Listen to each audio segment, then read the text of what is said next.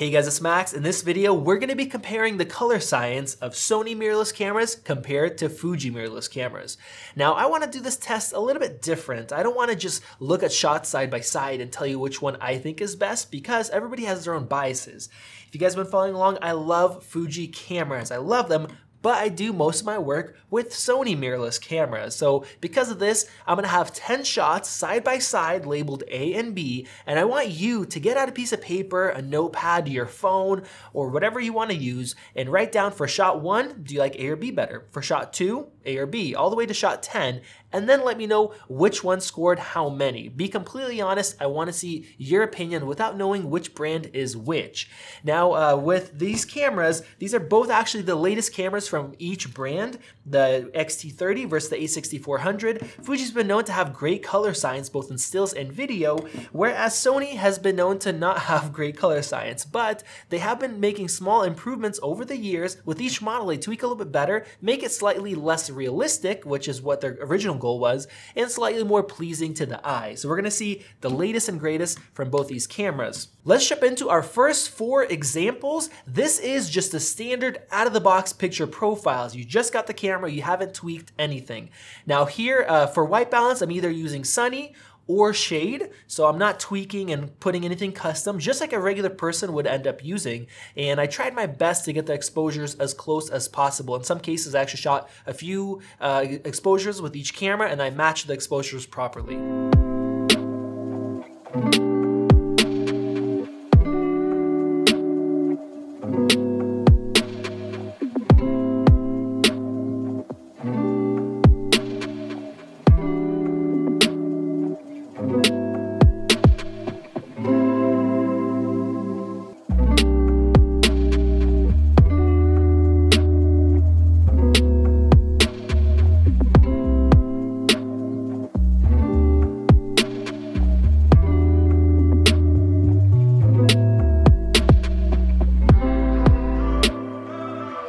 Remaining six shots, I used the Eterna picture profile with the Fujifilm. It's labeled as soft color and rich shadow tone suitable for film look movie. This is a very popular profile. I really like it. A lot of other reviewers, a lot of other filmmakers really like this profile. And for the Sony, since they don't have nice names for the profiles, with this one, I used my custom picture profile that I really like. It's very easy to set up, picture profile 6, but I actually punch up the contrast and the saturation. Now everybody has their own preferences. Personally, I like a little bit more saturation and contrast, and that's what I suggest to people in my Fujifilm camera reviews, just to bump up the contrast saturation. And on the Sony, I do the same thing either in post or in the profile, I actually go to a minus 10 and plus 10 to give it a little bit more pop. But for this comparison, I'm just gonna leave it as is. So we're gonna have just a regular Eterna here, and here we have picture profile six with negative five on the contrast or the blacks, and then plus five on the saturation.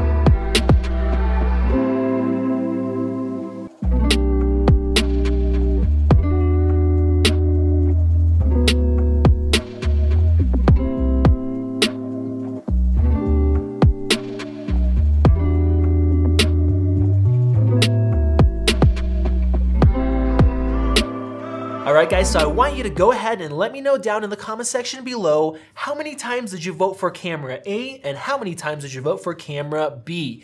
Let me know down below, pause the video before I tell you which camera is which because I want to hear your honest opinions on what your eyes prefer, not the brand uh, or whatever you would normally choose. Now is the time I'm to reveal the cameras. If you didn't let me know down in the comments yet, please pause the video and go do that. Camera A is Sony and camera B is the Fujifilm. So you can go ahead and reply to your comments and let me know if you were surprised by the result or if you guessed it all along and why. I'd love to hear you guys guys' opinions. Now, I'm also going to give you guys my opinion and some of the things that kind of jump out, uh, jumped out and stuck out to me, and some of the observations I had. Uh, but before that, I don't have a sponsor for this video, but I do want to give a shout out to Soundstripe. I use their music in this video and all of my other videos for the last probably two or close to three years now.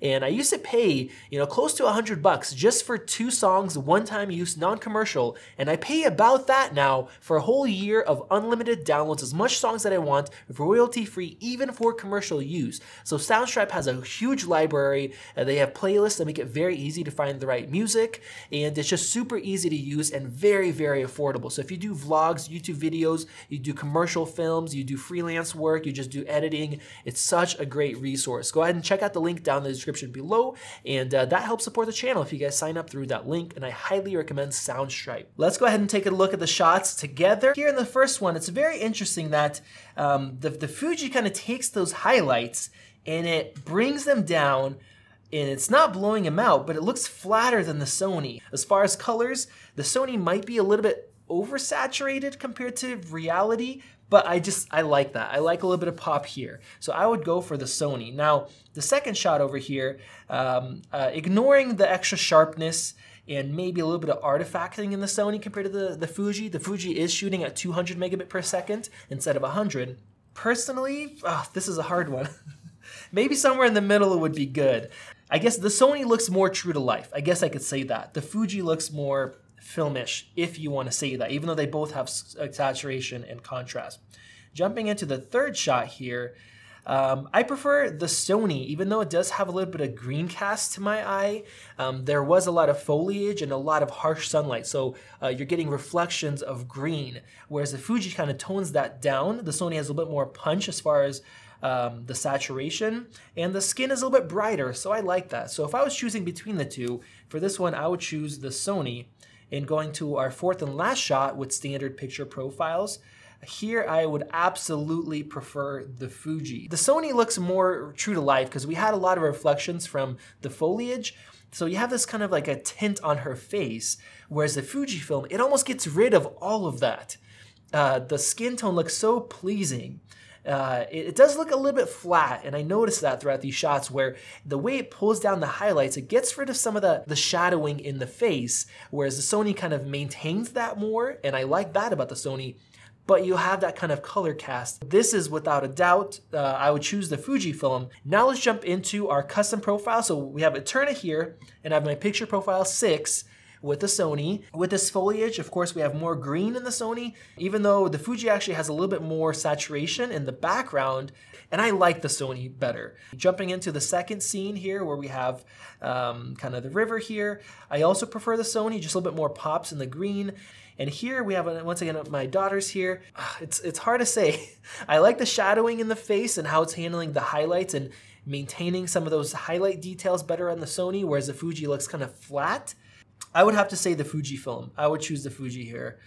And uh, here's this shot here with Elon. You have a lot of tint in the, in the Sony from the reflections, and the Fuji, that part of it is missing. I would give the colors to the Fuji once again, and this is in the Eterna profile. And then moving on to our next test, this one I would choose the Sony. We don't have as much reflections, and the Fuji, the face, especially those highlights, and looking at his shirt, I mean, I know the color of that shirt, and it definitely looks the way it does with the Sony, um, and I prefer that one. We have Elon here swinging around. I guess it's basically the same result. Uh, I prefer uh, the Fujifilm overall. I like the way the Sony deals with with the I guess exposure and the highlights, but I like the color of the Fujifilm better. Alright guys, so there we have it, Fuji versus Sony color science comparison. I am very excited to hear your guys' opinions, which one you chose more often and which one you prefer and why. If you haven't commented yet, please comment below. And if you enjoyed this video, give it a thumbs up. Personally, I was about half and half. Uh, for scenery, I really like the Sony. For skin tones, um, in a lot of the cases, I in some of the cases, I guess I should say, I prefer the Sony. In other cases, especially where we had that harsh sunlight, light bouncing off of grass, bouncing off of foliage. Just the tint in the face on the Sony was too much. And surprisingly, somehow, in both profiles, Fuji uh, just got rid of that. It's almost like there's some smart, something smart, I guess smart color science behind it where it knows, hey, that is not normal, get rid of that. So that is impressive. If you're shooting in those situations, man, the Fuji looks great. Um, I do wish the exposure and kind of the way it deals with the midtones and the highlights was a little bit different. I prefer the Sony, especially in the picture profile 6, much better. Um, but with the Sony, it is more accurate in some cases, but you will have to spend more time getting rid of some of those tints. In some cases, especially if you're using auto white balance, getting rid of magenta. In other cases, getting rid of green.